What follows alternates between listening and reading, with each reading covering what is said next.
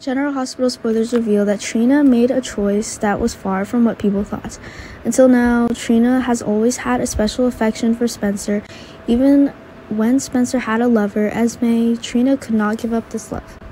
Spencer, after realizing the nature of Esme, changed and helped Trina a lot. It was because Spencer testified for Trina that was he was detained in Pentonville. Meanwhile, Trina starts dating another man Rory and Trina have only just came into contact with each other, but the speed of emotional development is really too fast. Since Trina is officially dating Rory, she seems to have forgotten about Spencer's presence. Dex is being put into a very dangerous situation, and if Dex has no other choice, even Michael will be dragged into this trouble.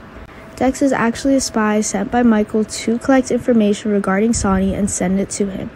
But now Dex is suspected by Sonny that he is the hook killer that confuses the people in Port Charles.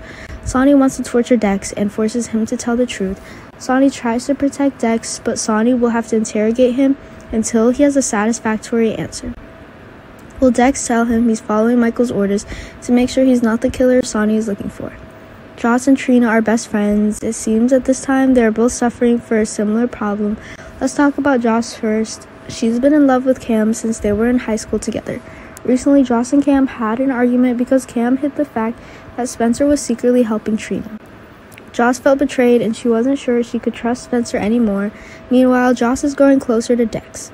This could bring her and Joss's relationship to the brink of breakdown. About Trina, she's only just gotten to know Rory, but seems to trust him a lot. Is Rory really a good man as he is? In fact, there are many predictions that Rory's identity is not simple. Rory has intentionally hidden Trina, so once Trina finds out, it will definitely affect her relationship. Spencer tried to help Trina, so she ended up to, in jail.